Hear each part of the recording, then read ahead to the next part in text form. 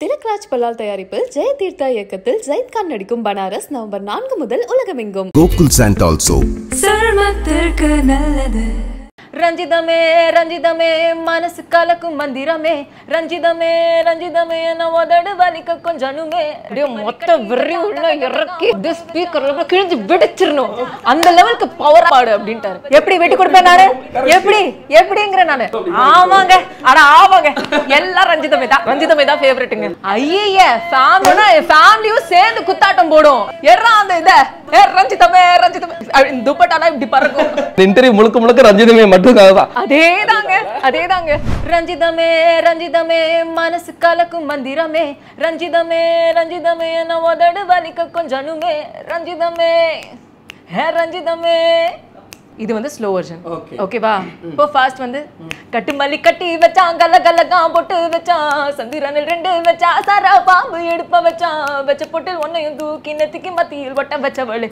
உச்சி கொட்ட நேரத்துக்குள்ள உச்ச கட்டம் தொட்டவளே ரஞ்சிதமே. ஹே, ரஞ்சிதமே. இந்த பாட்டிலே ஒரு வைபா இருக்குல்ல. சே நான் மட்டும் தான் அப்படி ஃபீல் பண்ண உலகமே அப்படிதான் ஃபீல் நான் பண்ணுவேன் இன்டர்வியூ வரும்போது மனசு எடுக்க போறோம். போடு வைப்ப டான்சர் கிட்டே வரேன் நான் பாட்டுக்கு அதே வைப்லயே தான் எல்லாரும் மிதத்துட்டு இருக்கோம். மூணு நிமிஷம் முப்பது செகண்ட் தாண்டி போனதுக்கு அப்புறம் அந்த கட்டு மல்லி கட்டி வச்சாங்க ஒரு லாஸ்ட்ல ஒரு ஹை பீட் போகுது. கட கட கடன்னு போகுது எனக்கு கை கால் ஏ, என்னடா என்னடா பண்ணுது? என்ன பண்ணுது அப்படிங்கிற மாதிரி. நமக்கே இப்படி இருக்குன்னா ஸ்டுடியோல பாட்டு பண்ண மானசி என்ன ஃபீல் பண்ணிருப்பாங்க அப்படின்னு. ஐயோ அது அதாவது அந்த ஒரு ஹைப்பு அது என்னமோ பண்ணிச்சிங்க. நீங்க சொன்னீங்கல்ல. அதாவது தவணை நான் ஒரே விஷயம் தான் சொன்னேன். பாரு அப்படியே ஸ்பீக்கர்ல கிழிஞ்சிடணும். அப்படியே எல்லாம் கிழிஞ்சு வெடிச்சிடணும்.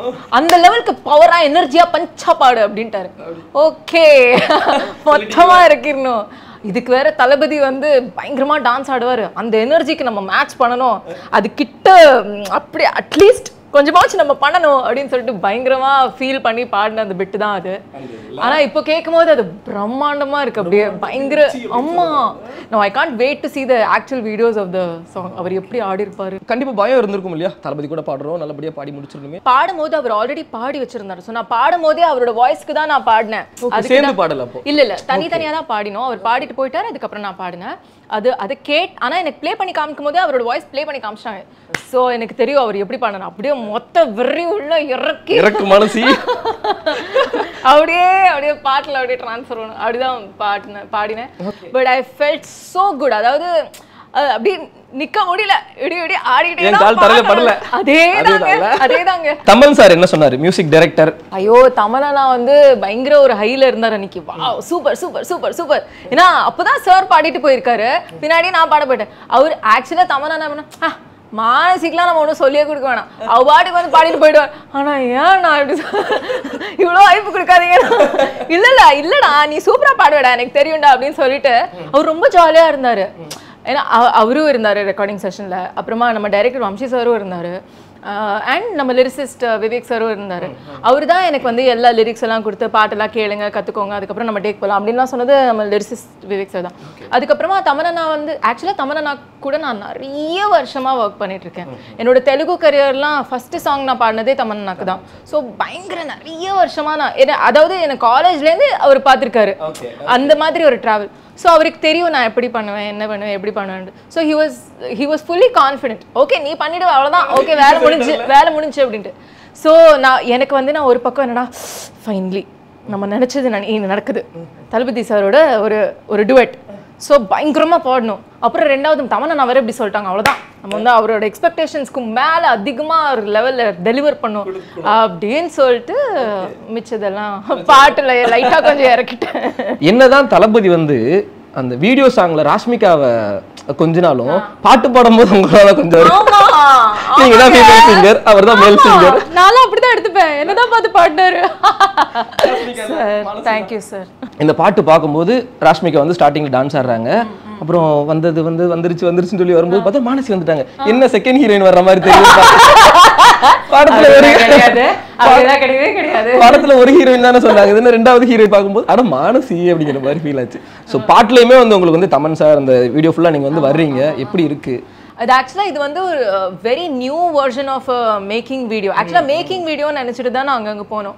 ஆனால் வந்து உனக்கு காஸ்டியூம் ட்ரையல்ஸ்லாம் இருக்கும் அப்படின்லாம் சொல்லும் போது எனக்கு என்னடா இவர் இப்படிலாம் சொல்கிறாரு காஸ்டியூம் ட்ரையல்ஸா ஜென்ரலாக நம்ம ஸ்டுடியோவில் பாடுறது அப்படியே தானே எடுப்பாங்க என்னடா இது புதுசாக இருக்குது அப்படின்னு எதுவுமே எதிர்பார்க்காம போனோங்க. பார்த்தா லொக்கேஷன் வேற ஒரு செட்டு லொக்கேஷன் என்னடா ஏதோ ஒன்று A plus B is not equal to C மாதிரி இருக்கு. சரி இல்லையே அப்படின்னு போய் பார்த்தா அப்படி பிரம்மாண்டமா இருக்கு அந்த செட்டு என்ன நடக்குதுன்னு எனக்கு புரியல. அவ்வளோ பெரிய ஒரு எல்இடி ஸ்க்ரீன் பின்னாடி இருக்கு டிராக்டர் இது அது என்னெல்லாமோ ப்ராப்ஸ் வச்சிருக்காங்க. அண்ட் ஆக்சுவலா அந்த வீடியோல நிறைய ஆட்களை நீங்க பாத்தீங்க இல்லையா? என் கூட இருக்கிறவங்க. எல்லாருமே நாங்க எல்லாருமே மியூசிஷியன்ஸுங்க அதுதான். நாங்க கேள்விப்பட்டோம். அந்த ஒர்க் பண்ண மியூசிஷியன்ஸ் எல்லாருமே ஒர்க் பண்ண மியூசிஷியன் ஸோ அப்படியே அந்த டீமை மொத்தமா அவர் கூப்பிட்டுட்டாரு. ஸோ எங்க எல்லாருக்குமே to be a part of this வீடியோங்கிறது ரொம்ப ஹாப்பியா இருந்தது. ஸோ நாதஸ்வரம் பிளேயராக இருக்கட்டும் தவில் பிளேயராக இருக்கட்டும் ஆஹ் எல்லாருமே எல்லாருமே அங்கே இருந்தாங்க. ஸோ எங்க எல்லாருக்குமே பயங்கர ஜாலியாக இருந்தது. பிகாஸ் மியூசிஷியன்ஸாக நாங்கள் ஒரு மேக்கிங் வீடியோ அதுவும் இந்த மாதிரி ஒரு கிராண்டியூரில் இருக்கிறதுங்கிறது it is very new for us so அந்த மாதிரி நாங்கள் அதை எதிர்பார்க்கல. எப்படிடா இருக்கும் இது இப்படி இருக்கு? இந்த மாதிரி ஒரு திரேடியாக பின்னாடி ஓடுதே எப்படிடா இது இப்படி எப்படிலாம் யோசிச்சோம். ஆனா அந்த பக்கம் போய் மானிட்டரை பார்த்தா எங்களாலே நம்ப முடியல. ஏய் இது என்னது இப்படி பயங்கரமா இருக்கு? அப்படின்னு நாங்களே வி காட் வெரி ஹாப்பி அது பார்க்கறதுக்கு ஓ இந்த இப்படி பார்க்கறதுக்கே பயங்கரமா இருக்கு. சரி ஃபைனலாக எடிட்லாம் முடிஞ்சு எல்லாம் வரும்போது இன்னுமே பயங்கரமா இருக்கும் வி நியூ ஸோ அது ஆனா அது எப்படி இன்கார்பரேட் பண்ணுவாங்கன்னு தெரியாம இருந்துச்சு. இன்னைக்கு பார்த்தோன்னே அவ்வளோ ஹாப்பி ஆமா. First day FDFS show FDS ஷோக்கு நீங்கள் போயிட்டீங்க. ஓகேவா? நம்ம வாரிசு படத்துக்கு போயிட்டீங்க ரஞ்சிதமே சாங் வருது. தியேட்டரில் உங்களோட ரியாக்ஷன் எந்த மாதிரி இருக்கும்? ஏன்னா இப்போ தியேட்டரில் வந்து பசங்களாம் ஃப்ரெண்டில் வந்து செம்மையாக சட்டையெல்லாம் கட்டி போட்டு சுற்றி டான்ஸ் ஆடிட்டு இருப்பாங்க. நம்மளால நம்ம என்ன சொல்றது? ஃபேமிலியோட போகிறதுனால ஒரு ஓரத்தில் பார்க்க முடியும். ஐய ஃபேமிலினா ஃபேமிலியும் சேர்ந்து குத்தாட்டம் போடும். ஆமா எல்லாரும் சேர்ந்து ஐய அப்படியே எட்றா அந்த இத எட்றா தூக்குறாத இப்படி இருப்போம் நாங்க எல்லாரும். ஏ ரஞ்சிதமே ரஞ்சிதமே துப்பட்டாலாம் இப்படி பறக்கும். நிஜமா சொல்றேன் ஃபேமிலியோட சேர்ந்து நாங்க குத்தாட்டம் போடுவோம். ரொம்ப டீசென்ட் க்ரௌட்லாம் நினச்சிக்காதீங்க. ஆமா பாட்டு அந்த ஃபீல் இது அதே இனம் தான். எஸ் அப்சல்யூட்லி வித் ஃபேமிலி கேரண்டியோட கொடுக்குறேன் நான். என் குழந்தையிலேருந்து எல்லாருமே ஒரே ரியாக்ஷன் தான் கொடுப்பாங்க. இப்படிதான். அப்படிதான். இந்த பாட்டு கொடுக்குற ஃபீலுங்க அது. ரஞ்சிதமா அரபி குத்துவா ஃபார் மீ. ரஞ்சிதமே தாங்க. என்னைக்குமே. பிகாஸ் எப்படி எப்படி விட்டு கொடுப்பேன் நானு? எப்படி? எப்படிங்கிற நானு. அதாவது ஒரு சிங்கரா ஒரு டப்பிங் ஆர்டிஸ்டா எல்லா விதத்திலயும் இந்த பாட்டு எனக்கு வந்து அவ்வளோ ஸ்பெஷல் இந்த பாட்டுல நான் சாரோட டுவேட் பாடிட்டேனா நடுவில் டைலாக்ஸ் வருது பாத்தீங்களா? அதுவும் நம்மள தானே பேசிக்க வச்சிருக்காங்க. ஆமா. சோ அவருக்கு அவர் ஏதோ கேக்குறாரு அதுக்கு நான் பதில் சொல்றேன். அந்த மாதிரி பார்த்தா கூட பயங்கரமா இல்ல? சின்ன கான்வர்சேஷன் ஆமா. சோ ஒரு சிங்கரா ஒரு டப்பிங் ஆர்டிஸ்டா இதை விட ஒரு பெட்டரான ஒரு பேக்கேஜ் டீல் எனக்கு கிடைக்காது. சோ அந்த விதத்துல ரஞ்சிதமே தான். எனக்கு அரபிக் குத்து ரொம்ப பிடிக்குங்க. எனக்கு என் பொண்ணுக்கு என் ஃபேமிலிக்கு எல்லாருக்குமே ரொம்ப பிடிக்கும். ஆனா ரஞ்சிதமே ரொம்ப ஸ்பெஷல் ஓகேவா இப்படி இருக்கு இந்த தருணம். தளபதி கூட ஒரு டூயட் பாடி இருக்கிறீங்க ஸோ ரிலீஸ் ஆகி வேற லெவல்ல போயிட்டு இருக்கு சாங்கு கண்டிப்பா. ஸோ ஃபுல்லாக பாசிட்டிவ் கமெண்ட்ஸாக வரும்போது பார்க்கும்போது ஓகே சூப்பர் சூப்பர் சூப்பர் அப்படிங்கிற மாதிரிலாம் இருக்கும். உங்களுக்கு என்ன ஃபீல் ஆகுது இப்போ? எனக்கு ஆக்சுவலாக நான் ஃபர்ஸ்ட் டைம் பாட்டு கேட்கும் போதே எனக்கு தெரியும். இது இந்த மாதிரி தான் வரும் அப்படின்ட்டு. ஏன்னா நம்ம வந்து கேட்கும் போதே ஒரு ரசிகர் ஃபேனாக தானே நம்ம கேட்போம்.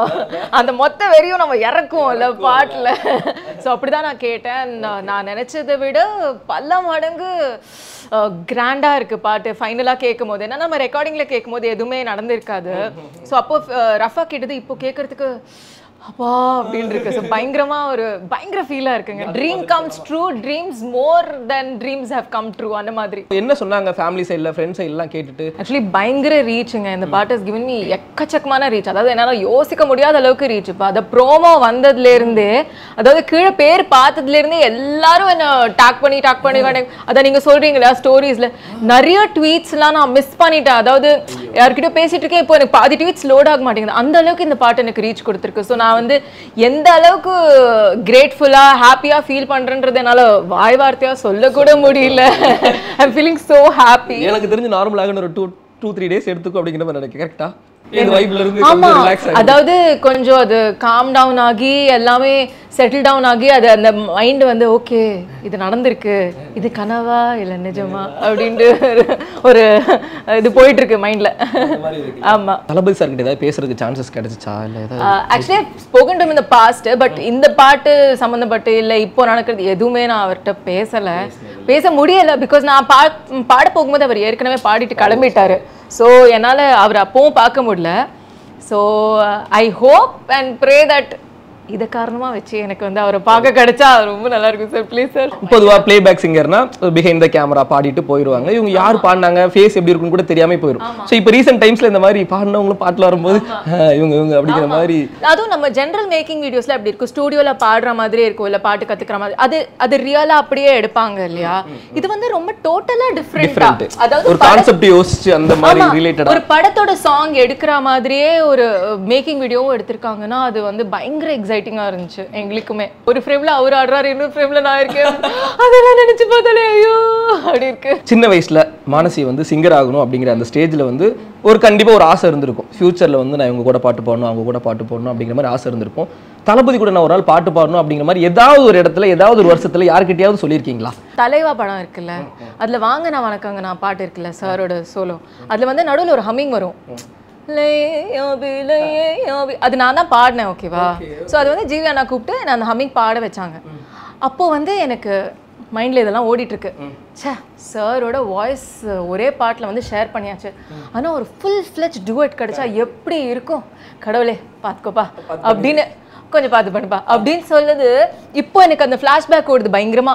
ஐயோ அப்போ நம்ம நினைச்சோம் அதுக்கு தான் நான் வந்து ட்ரீம் கம் ட்ரூவை விட மேல more dreams have come true நான் சொன்னேன் இல்லையா?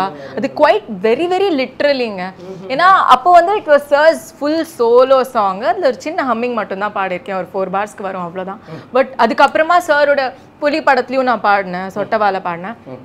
ஆ- ஆனா அது வந்து ஒரு duet song with Shankar Madhavan sir. அப்போ கூட நான் யோசிச்சேன் ச்சே விஜய் சாரோட ஒரு டுவெட் பாட கிடைச்சா நல்லா இருக்கும்ல எப்படி இருக்கும்ல? சரி ஓகே ஒரு ரிக்வஸ்ட் போட்டு வைப்போம். என்னைக்காச்சும் ஒரு நாளைக்கு வரதா பார்ப்போம். அப்ளிகேஷன் அப்ளிகேஷன் அக்செப்ட் பண்ணிக்கோ தலைவே கடவுளே அப்படின்ட்டு. பார்த்தா இது finally this had to happen போல இருக்கு. அண்ட் இது இவ்வளோ கிராண்டான ஒரு சாங்ல I am so happy Thalapathy வாய்ஸ்ல வந்த பாட்டுல உங்களுக்கு பிடிச்ச பாட்டு உங்களுக்கு ஒரு முக்கியமான பாட்டு அப்படின்னா என்ன பாட்டு சொல்லுவீங்க? ரஞ்சிதமே.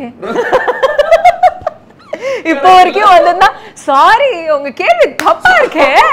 ஆக்சுவலா இந்த ஷோ ப்ரொடியூசர் கரெக்டாக தான் அனுப்பி விட்டாரு. சாரி கொஞ்சம் மிஸ்டேக் பண்ணிட்டீங்க சார் என்ன சொல்லியிருக்குன்னா ரஞ்சிதமேக்கு முன்னாடின்னு ஒரு ஆட் பண்ணியிருந்தீங்கன்னா ஒத்துக்க மாட்டேன் ஒத்துக்க மாட்டேன் ஒத்துக்க மாட்டேன். இந்த கேள்வியெல்லாம் ரிஜெக்டட் முன்னாடி கேட்ட கேள்விதான் அதுக்கு தான் பதில் இருக்கு. ரஞ்சிதமே தான் ஃபேவரட்டுங்க இப்போதைக்கு மானசி கிட்ட என்ன கேட்டாலும் ரஞ்சிதமே ரஞ்சிதமே தான். தமிழ்நாட்டோட சிஎம் யாரு? ரஞ்சிதமே உங்க வீடு எந்த தெருல இருக்கு? ரஞ்சிதமே ரஞ்சிதமே திருப்பி ஒரு கொஸ்டின் அனுப்பி விட்டுருக்காரு அந்த கொஸ்டின் கேட்டாலும் ரஞ்சிதமே தான் ஆன்சர் வரும் அப்படிங்கிற எனக்கு தோணும். என்ன கொஸ்டின்ங்கிற சொல்லிடுறேன். தளபதிக்காக நீங்க ஃபீல் பண்ணி ஒரு லைன் எடுத்து ஒரு பாட்டு எடுத்து பாடணும் அப்படின்னா என்ன பாட்டு அப்படின்னு கேட்டு அனுப்பி விட்டுருக்காருங்க ரஞ்சிதமே ஹே ரஞ்சிதமே அதுவே ஒரு லவ் சாங்கா கூட பாடுவேன் நான் ஓகே சார்னா அவ்வளோ பிடிக்குங்க. அவ்வளோ பெரிய ஃபேனுங்க ரஞ்சிதமே அப்படிங்கிற ஒரு சாங் வந்து நெஞ்செல்லாம் அப்படி என்ன சொல்றது பறந்து கிடக்குது. என்ன பேசுறதுன்னு தெரியல. மைண்டுக்குள்ள என்ன ஓடிட்டு இருக்குன்னு தெரியல. ரிப்பீட் மோட்ல போயிட்டு இருக்கு. இதே மோட் தான் இன்னும் கொஞ்சம் மாசத்துக்கு போகும் அப்படிங்கிறதுல டவுட்டே இல்ல.